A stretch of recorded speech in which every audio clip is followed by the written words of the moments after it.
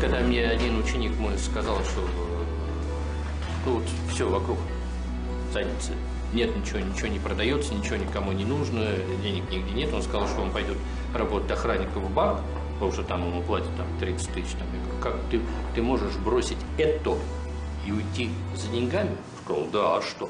Все, он для меня кончился.